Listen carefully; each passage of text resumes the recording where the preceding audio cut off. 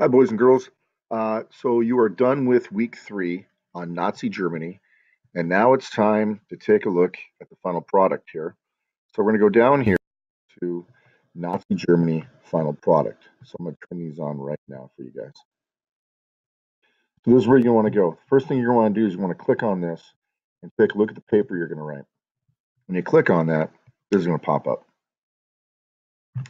This is the outline for the paper you're going to write.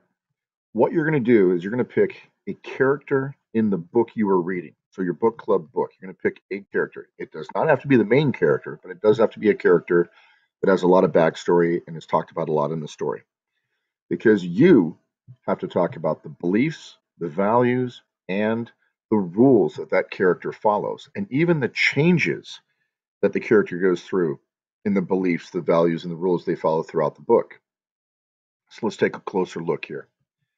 So the character, you name the character, from give the book that you that you've read, give some background, give three or four sentences of backstory on your character so we know as a reader who does not know your character knows who they are. Then here, the beliefs of this character are, and it can be a couple of different beliefs, and you're going to talk about that later. He or she values that couple of values or a main value. And then finally, a rule or rules they follow. As you move down, you're going to see that your first subclaim is going to be about the beliefs. And we are going to need beliefs and page numbers and evidence. You need evidence. So if you say that my character believes that they are going to get away from the Nazis, you need to give me some evidence and you need to tell me what page that's on and you need to do that a few times throughout your belief paragraph. Same thing here with values, same thing here with rules. And again, we are expecting you to show the growth of this character through different beliefs, different values, and even different rules that the character goes through in the book. And then finally, the conclusion. In the conclusion, or in conclusion, my character in the book, name the book, is, and then it is important that the author the authors do this in this uh, in their writing because and explain why the character developed the way they did from your point of view. Okay, so that is the outline you're going to use. But before you do any writing or anything on that, let's go back and take a look at the packet. Now you're going to be getting a packet. So I have one on uh, Canvas just in case you need to print one, but I have a physical one for you. So let's go to the packet packet looks like this. Yours has a yellow cover. And you're going to put your name at the top. And then you're going to put down the name of your character and your book title right there at the bottom. This here page is going to talk about uh, your research, what you're going to do, and how you're graded. This is the rubric for the project you're going to make, and we'll get to that more in a second. And this is the rubric for the presentation you're going to give, and more on that in a second. But I want to get to this page right here because this is where you're going to put the pages of your evidence. I want you to go into your book and put down the notes that you're going to write right here in the page numbers you're going to use for your paper. I want you to go here and put down the values that you're going to use to show the growth of your character and the pages it's on. These are the notes you're going to show Mrs. Arts or me.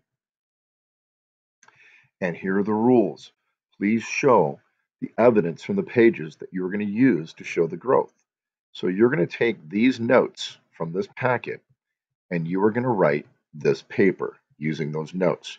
You may not write this paper until Miss Arts or myself have seen these notes.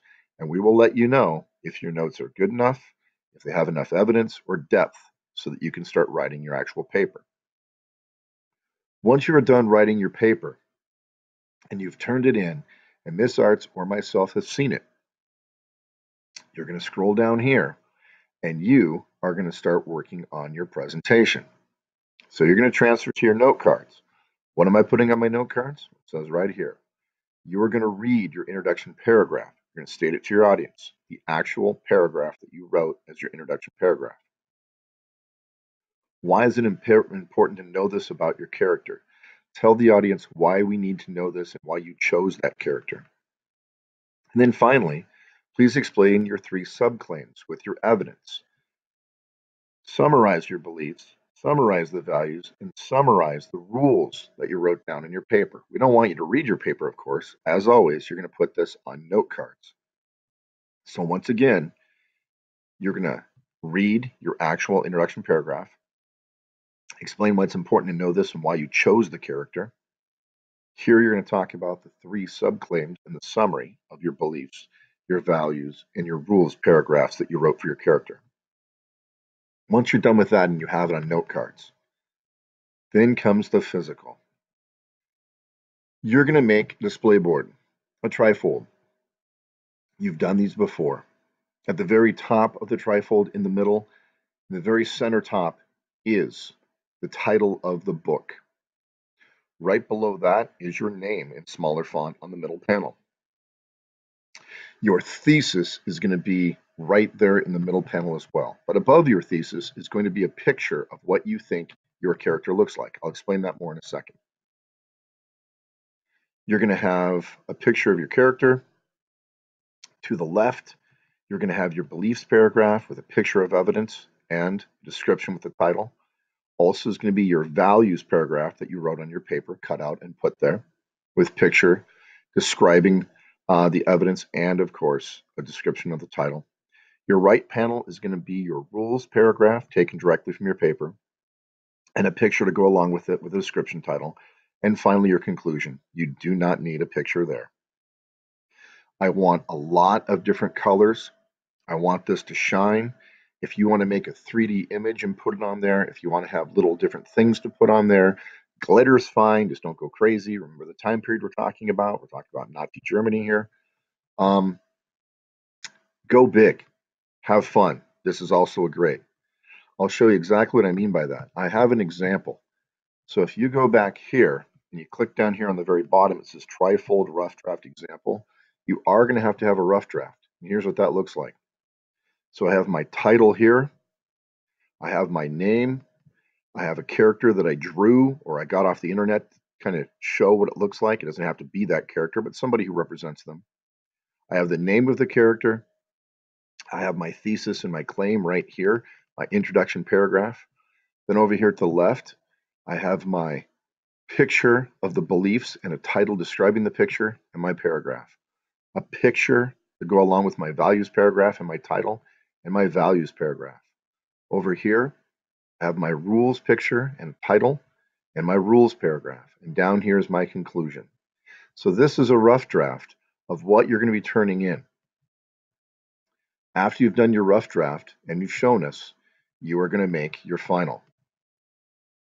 So let's take a look at the due dates. Here are the mini due dates. Fill this in by yourself. The introduction paragraph is due by the 11 uh, by 11:18, so the 18th, which is a Monday, November 18th. This part here, your page of notes, that's due on the 20th, which is a Wednesday, November 20th. Here, your rough draft of your paper is due Thursday, the 21st. Your final paper, which is right here, is due the 22nd of November. The rough draft you're going to make before you make your final exhibit board is going to be due on Thursday, the 26th. And then, of course, your final, December 4th, after we get back from Thanksgiving vacation. That's a Wednesday. The whole thing is done and you're going to be presented. Make this good because more than just you are going to be looking at this. I'm going to have a lot of people come down and look at how great your work turned out to be. Thanks for everything. If you have any questions, as always, please ask. Thanks.